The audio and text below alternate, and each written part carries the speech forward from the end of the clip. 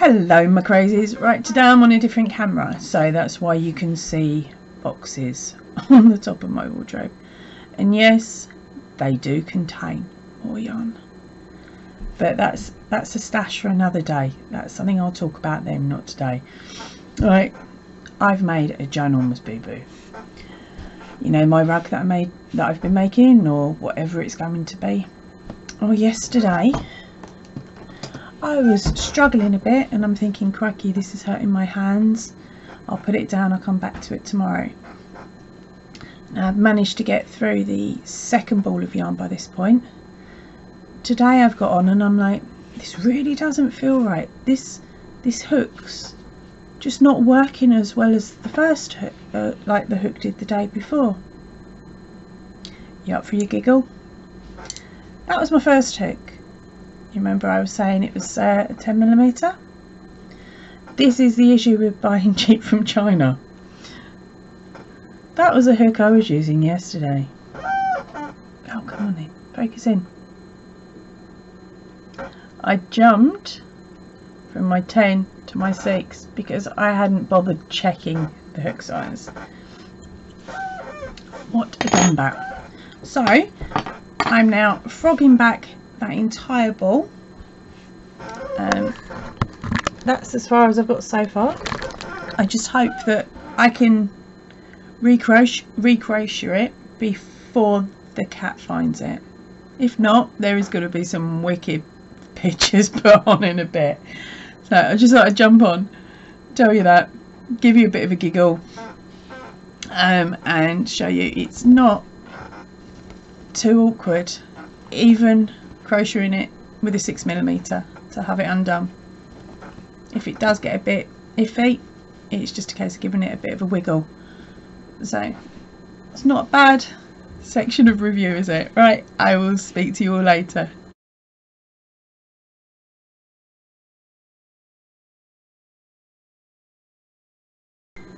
Okay, I've nearly finished frogging it back. Um, I've got that much left.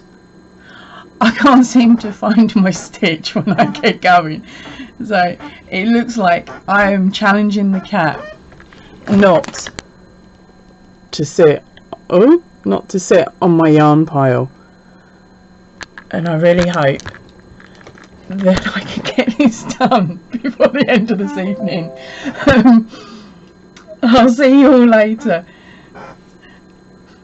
Keep everything crossed for me.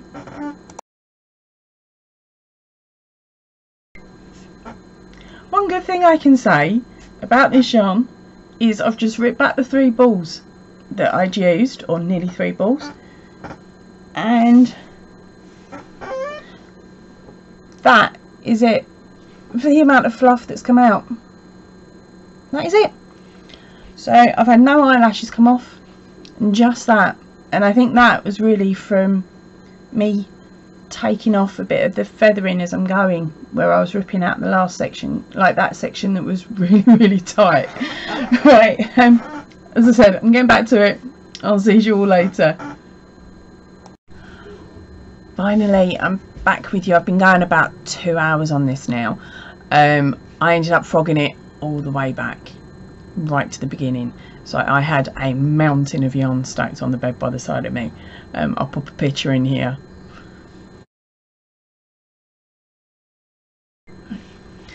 So here we go. This is what it's ended up being. Now, I've still got a bit of yarn. So I am going to play chicken and hope I can get another row out of it before I actually do um, the measurements. And I'll give you the full measurement then of how much, how big I managed to get three balls using a uh, 10 millimeter. Right, I'll be back with you in a moment. Wish me luck. I need it. I thought I'd let you watch along and you egg it on whether you want it to work or not. So I'm on 9, 10, 11,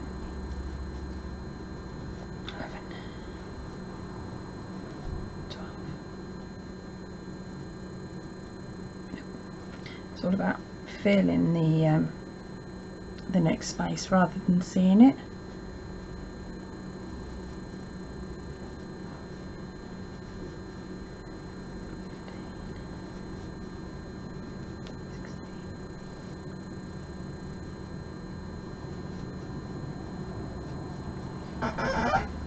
Now, you can have to look at it from the reverse, but literally find the gap and stab the thing. I've forgotten what number I was on. Give me a minute. I'm recording to find uh, rewinding to find out. No I kept going while I was talking and I can't work out how many I managed to do. Frog it back a go. But I suppose on good point. At least I put a stitch mark left a stitch marker in the turning chain and actually in the stitch so that if I did have to frog it back because there wasn't going to be enough I didn't have to frog it right back to the beginning. Please work please work. Yes brilliant. Right. I'll see you when I get a bit closer to the end. I can't talk on crochet brain's just not working like that today. Must be the sun. See you in a minute. Right I'm on 21 don't ask I've not looked 22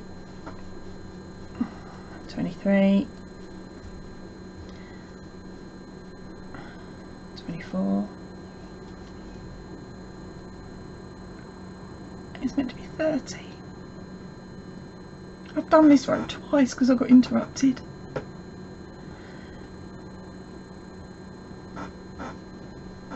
No I can't leave the corner off. Okay so I'm gonna strip this one back again thankfully the mark is in there somewhere.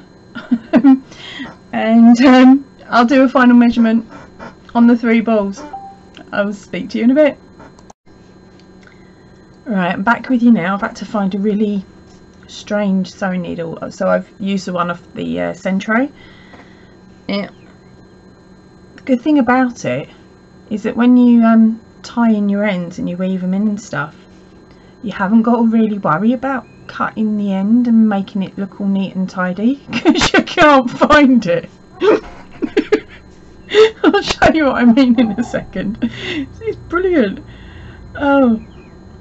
Yeah so because um, I'd, I'd sort of started doing it but I hadn't pulled it all the way through on one end luckily so so there was a bit of a loop that I managed to find but once it's done there is going to be no way I'm going to be able to find this end so I think as a plus that is a mega plus because I hate sewing I hate sewing in ends I think we all do secretly any of us that say otherwise are fibbers or more crazy than me. Go through. There we go. So yeah, the end is around here somewhere. I've lost it. So, so it was um as a ball to use. Oh, I found it. Yeah, as as a ball um, yarn to use. It is super fluffy, really quite once it's worked up it's really got some weight behind it as well um,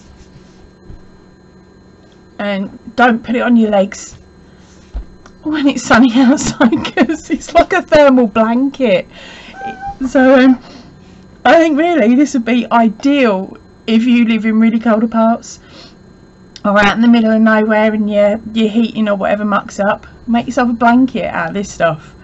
Um, or, or even a jumper or something or a jacket. And it's quite it feels quite airy breathy but it is so thick and chunky. And that was just worked up in basic stitch with a chain at the end just to turn. Right I'm gonna go and measure it. See what it ended up coming in at. See you in a second. Right so I didn't do too bad at the guesstimation earlier on.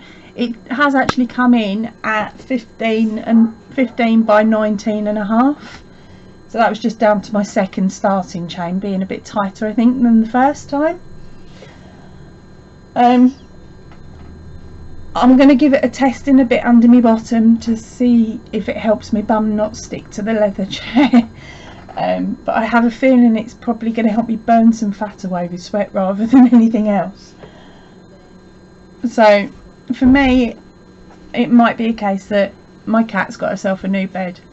But knowing her she'll end up pushing the dog onto it and nicking his bed like she normally does. Right so Um, out of the two balls, feels like a lot more now, but that's pretty much all I've got left. Now I haven't bothered weighing it or anything, but what I do plan to do is keep hold of it.